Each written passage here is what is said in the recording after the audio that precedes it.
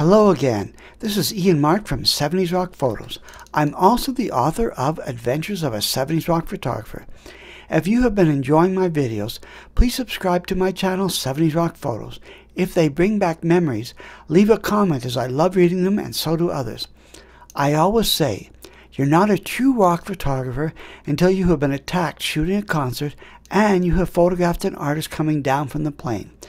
I was attacked while shooting Queen in Calgary in 77. You can learn about that in my video Queen Rocks Calgary's Jubilee. In this video, we are going to cover when I photographed Rod Stewart coming down from his plane in the Calgary airport. Then we are going to see shots of Air Supply, who opened for Rod the next day, and of course, see many images of Rod Stewart promoting his record Footloose and Fancy Free. Let's start off with his arrival at the airport, and then we'll check out the venue. It was a cold day on October the 5th, 1977, when Rod's twin-engine plane touched down at the Calgary airport. You can see from these photographs that Rod was cold and bundling up as he walked off the plane with his musicians into the waiting limo. Luckily for him, it was just cold. That time of year, there could easily have been snow on the ground. The venue for the concert was the Calgary Stampede Corral, a small house for a performer like Rod. It dates back to 1958 with a seating capacity of just over 6,400 essentially a glorified cement barn. It may be small, but it has hosted the Everly Brothers, The Who, Three Dog Night, Kiss, Queen, Rush, Styx, Jethro Tull, and countless others. Until the 88 Olympics, it was the largest venue in Calgary. Opening for Rod was Air Supply. Here's the backstage pass they gave us for this concert. I met Graham and Russell in an interview with my boss from Music Express magazine before they went on stage. They talked about how they toured with Rod in Australia and that he invited them to open for him in North America. It was their big break to play in front of a totally new audience. Now it's time to move on to Rod Stewart. I photographed Rod about six months after Queen came to town.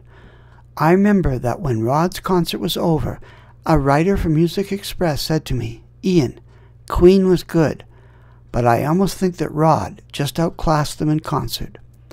Some may find those words to be blasphemy, but his concert was fabulous. Rod surpassed my expectations, and his band was excellent. It's easy to put on a great show if the audience is loving you.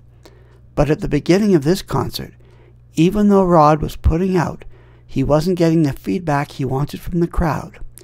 I was at the front taking pictures, and I could see he was displeased. So he turned to the audience and said, If you want us to put out up here, you have to put out out there. They got the message, and the audience did give him the applause he wanted, and the concert went on. He did all his favorites, including Maggie May, You Wear It Well, the killing of Georgie.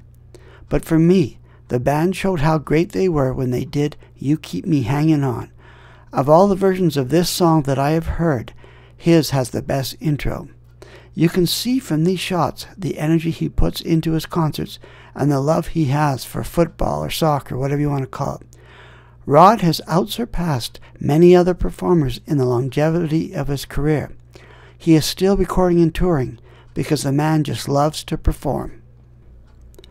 I hope you enjoyed this video. I thought we would end with a few shots of the layout that Music Express gave me after the concert. You can buy either photographs or my book, Adventures of a 70s Rock Photographer, at my 70s Rock Etsy store or at my 70s Rock Amazon store or by going to 70srock.com. Be sure to check out my video, Rolling Stone Mobile Rocks the Bell Center. I take you inside the newly restored recording studio at its home at the Canadian Music Centre. You will see the very limiters used by Led Zeppelin to record When the Levee Breaks. Thanks for watching.